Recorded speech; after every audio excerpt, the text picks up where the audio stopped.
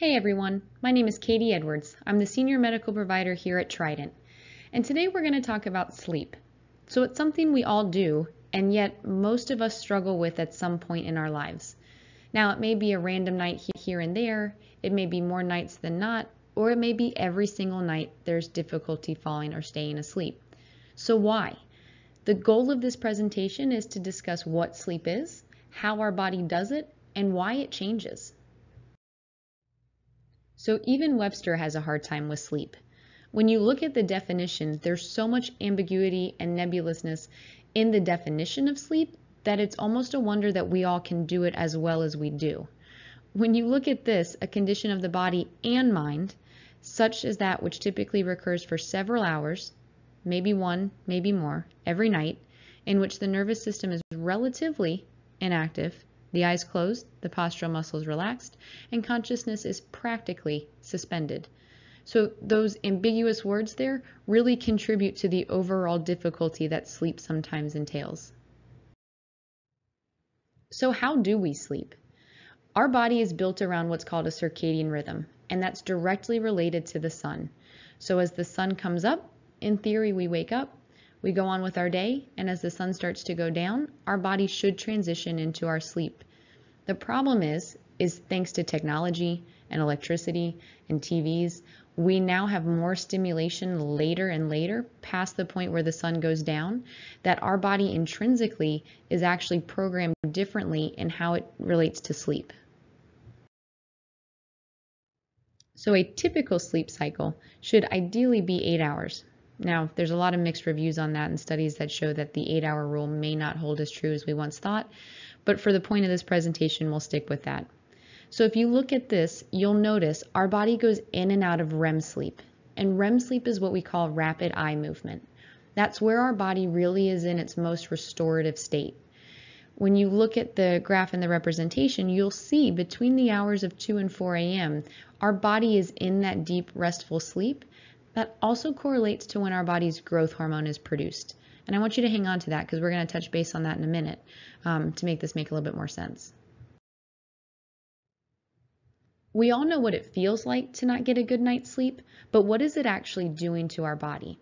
Lack of sleep can contribute, obviously, to decreased energy throughout the daytime, but it also prevents our body's ability to recover. It decreases our metabolism. It contributes to pretty terrible moods and it inhibits our body's ability to focus on mental clarity. An important aspect in determining why and how we're not sleeping well is what's called a sleep journal. And it's as simple as it sounds. Answering these questions throughout the night if you wake up and then the next morning can help you and your provider to be able to figure out what the source of your sleep issue is. So things to think about. Do you struggle, struggle to fall asleep, stay asleep, or both? How long does it normally take you to fall back asleep when you wake up? What makes you not fall asleep or cause you to wake up in the middle of the night? How do you feel when you have to wake up in the morning? Are you well rested or do you feel like you could keep sleeping? How does your day feel when you've not slept well? And have your sleep patterns changed? So thinking about these again can help to correlate the source of the sleep problem. So when I ask my patients these questions and ask them why they have trouble either falling or staying asleep, the answers are very similar across the board. So excluding external factors, meaning not your kid crying in the middle of the night or your phone going off or the doorbell ringing, these are the things that most people say contribute to their trouble sleeping. So the falling asleep hands down the most common is the mind and thoughts. So thinking about what you did today, what you have to do tomorrow, what you have to do next week, that's one of the big factors. Pain or discomfort, and then no real reason. Trouble staying asleep a lot of times has to do with temperature, and now again, not external temperature, but internal temperature changes. Hunger, and again, no real reason. Sleep hygiene is the practice of practicing good sleep. So much like you bathe and brush your teeth and have a routine when it comes to that hygiene, sleep hygiene has a similar backbone. So the things to think about in order to help improve your sleep, exercise early in the day. So increasing your body's serotonin will help to improve your sleep at night, but not if you do it right before you're trying to sleep. You want to make sure you're well hydrated. So drinking at least 64 ounces of water daily will help to promote a deeper sleep. Sunshine is fantastic. Vitamin D is one of the vitamins we know that can help promote our body's ability to get into that circadian rhythm and fall asleep naturally. And stretching. Stretching reduces and releases lactic acid, which then helps our body to get into a deeper, more restful sleep quicker. The things you don't want to do. Try not to nap during the daytime. Especially later in the day, this is going to again throw off that circadian rhythm. You should never use nicotine, but if you do, using it or caffeine later in the day acts as a stimulant, so that's going to make it harder to fall asleep. Don't eat your me big meal later in the day. Your body's focused on trying to digest and metabolize the food, not on going to bed. And avoid anything with a screen TVs, phones, laptops. All of that white light has an effect, again, on the way that the body can focus on getting into the circadian sleep. So put them away. So let's say you do all of that. You practice the good sleep hygiene, you're avoiding the bad stuff, you've kept your sleep journal, and you're still struggling. There definitely can be internal factors that contribute to our body's poor sleep. So hormonal imbalance is one of the big ones. I won't touch too much on that because I've done that in, in great detail in my other presentations. So take a look at those if you're interested in learning more about the hormonal imbalance. Elevated homocysteine level, which is one of the stress hormones, can contribute to poor sleep. Low vitamin D, and a high sex hormone binding globulin. So let's touch on those to make those make a little bit more sense. Like I said, homocysteine is one of our body's stress hormones, specifically our emotional stress hormone. So homocysteine levels are going to rise when our body senses that we have an emotional stress, typically secondary to friends, family, finance, work, travel. So as you can imagine, most of us have elevated homocysteine levels. When our levels are significantly elevated, homocysteine can actually have a physical manifestation on our body. Primarily, it shows as increased plaque in the arteries that go to the heart, which is why we say stress can kill you, because it can. At lower levels, homocysteine can prevent our body from being able to get a deep, restful sleep because our body is focused on trying to find the stressor. It can't understand that the emotional stress is not a tangible stress, and so it's constantly on high alert. This prevents our body from getting good rest, from having energy through the daytime, prevents metabolism and mental focus.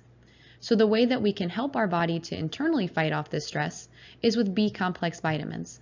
So B vitamins actually bind to the homocysteine. Anything that's bound in our body, our body doesn't want to use, so it just gets rid of it. Decreasing the homocysteine can help significantly with our body's ability to sleep. Growth hormone is a significant culprit when it comes to trouble sleeping, specifically staying asleep. So naturally our body's growth hormone spikes between about 2 and 4 a.m. That spike, again, if you go back to that chart we looked at in the beginning part of the presentation, is when our body, in theory, should be in REM sleep. So the spike and our REM sleep cycles are directly tied together. So when our growth hormone levels start to decrease the older we get, our body just naturally can't get into REM sleep as efficiently as it once could. This then prevents the body from being able to repair, recover, and prevents our metabolism from functioning as efficiently. Sex hormone binding globulins are a major contributor when we talk about our body's ability to utilize hormones. So basically what these little globulins are, are these little proteins that float around in the body, and they love to bind to sex hormones. So normally they exist, they're floating around, and if they see sex hormones, they bind to it. Again, if it's bound in our body, our body can't use it. So when the sex hormone binding globulin binds up all of our sex hormones, mostly testosterone and estrogen, it prevents our body's ability to use them. So certain things that aggravate this are age, can't really control that, stress, if you can control it, let me know how, increased body fat, and high estrogen relative to your other hormones, so mostly testosterone in guys and progesterone in ladies. So affecting and correlating these can decrease the sex hormone binding globulin and help the body to function more efficiently. So let's take a look at what's going on. There may be external factors that are contributing. There may also be these internal factors that contribute to the body's poor sleep. So by checking your labs, we can get a better idea and a blueprint of how we can go ahead and attack the sleep issue. After you get your labs done, you'll come in, speak with one of our providers, and they'll create a custom therapy plan for you.